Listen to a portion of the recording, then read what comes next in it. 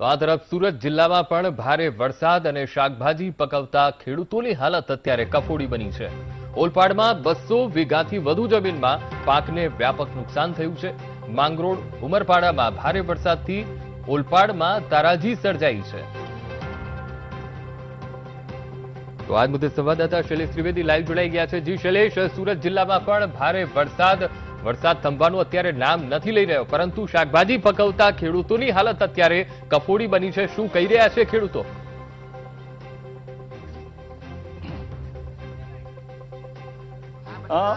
સુરત શહેર અને જિલ્લામાં જે વિકાસ થયો, એ વિકાસ ખેડૂતો માટે વિનાશનું કારણ બન્યું છે. આ હું જે દ્રશ્યો અત્યારે બતાવી રહ્યો છે, એ તેના ખાડી છે. તેના ખાડી ઓવરફ્લો થતા આજે ખાડીના કિનારે આવેલા આવા અસંખ્ય ખેતરો છે, જેમાં પાક બળી ગયો છે. જે પાણી ફરી વળ્યા, દસ દિવસ સુધી પાણી ભરાઈ રહ્યા. તેને કારણે અહીંયા આ ખેતરમાં સોયાબીનનો પાક હતો. એ સંપૂર્ણપણે નાશ થયો છે. આવા અસંખ્ય ખેતરો છે. લગભગ બસો વીઘાથી વધુ એવી જમીન કે ખેતરો છે કે જ્યાં પાક અત્યારે બળી ગયો છે. અને તેનું કારણ એ છે કે આ જે તેના ખાડી છે, એના ઉપરવાસમાં જે ગેરકાયદે ઝીંગાના તળાવ બન્યા છે અને ખાડીમાં પુરાણ થયું છે. તેને લઈને પાણીનો નિકાલ થતો નથી. ત્યારે અત્યારે આપણી સાથે ગામના કેટલાક ખેડૂતો જોડાયા છે. એમની સાથે વાત કરીએ. કેટલુંક નુકસાન થયું હશે માધર ગામમાં? લાખો રૂપિયાનું નુકસાન છે સાહેબ અમારા ગામમાં. કારણ કે આ પાણીથી હવે કુદરતને માં તો કંઈ કરી નહીં શકાય. પણ કુદરતને કારણે આ બધા અમારા ખેતરોમાં મરચી, કેર અનેક પાકોને લાખો રૂપિયાનું નુકસાન થયું છે. હવે લાખો રૂપિયાનું નુકસાન પછી પણ અમે જે અત્યારે જે વહીવટ કરીએ છીએ તે અમને શાકભાજી સો રૂપિયા મળે. ને અમારું શાકભાજી બજારમાં જાય તો અમારું શાકભાજી વીસ રૂપિયા જાય. હવે આ બધી કપડી પરિસ્થિતિની અંદર હવે અમે લોકો જીવન જીવી રહ્યા છે.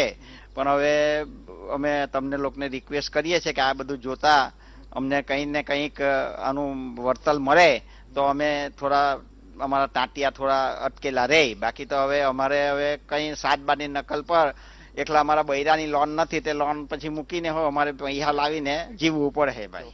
આ બીજા ખેડૂત પણ આપણે જોડાયા છે. આજે આ ખાડીનું પુરાણ અને ગેરકાયદે ઝીંગા તળાવ છે એને કારણે સૌથી વધારે નુકસાન સો ટકા.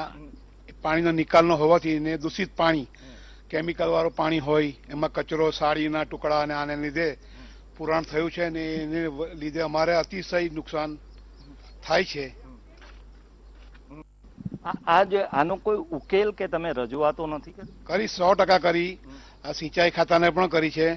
પણ એ લોકો એમ કહે છે કે ભાઈ, હવે અમે વ્યવસ્થા કરશું, અમારી પાસે મશીન નથી, આ નથી, તે નથી. અમે જિલ્લા પંચાયતના સભ્ય શ્રી દર્શનભાઈને પણ આજે અમે રજૂઆત કરી છે કે સત્વરે અમને આ મશીન સિંચાઈ ખાતાનું એક વ્યવસ્થા કરી આપો. તો આ પાણીનો નિકાલ થાય. અમારા જે પાકો છે, નિષ્ફળ ગયા છે. પાછા નવેસરથી અમે થોડો ઘણો વરસાદ થાય તો અમે કંઈક પાછો ડેવલપ કરીએ. ને અમને કંઈક યોગ્ય વળતર મળે એવી અમે ગામ માધર ગામ તરફથી સૌ ખેડૂત ભાઈઓ રજૂઆત કરીએ છીએ.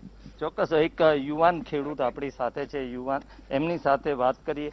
આ દર વર્ષની આ ખાડી છલકાવાની ઓવરફ્લો થવાની સમસ્યા છે. દર વર્ષે તમારી રજૂઆત હોય છે. વહીવટી તંત્ર કશું કરતું જ નથી. સિંચાઈ વિભાગ ખાડી સેના ખાડી સાફ કરતા જ નથી મશીન મોકલતા જ નથી. એને માટે પાણી બધું ખેતરોમાં જાય છે. ને નુકસાન થાય છે. સોયાબીન બનાવેલા હતા. તો સોયાબીન ખેતરમાં બધા ડૂબી ગયા છે. ને બધા સોયાબીન મરી ગયા છે.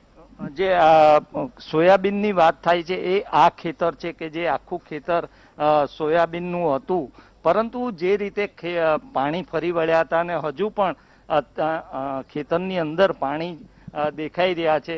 આ સોયાબીનનો પૂરેપૂરો પાક હતો, એ નાશ પામ્યો છે. લગભગ દસ દિવસ સુધી અહીંયા, આ ખાડીના પાણી ભરાઈ રહ્યા હતા. તેને કારણે, આ બધું જ ખેતી આખી સાફ થઈ ગઈ છે. મેં અગાઉ કહ્યું તેમ, આ માત્ર એક બે ગામની સમસ્યા નથી. તેના ખાડી ખૂબ મોટી ખાડી છે.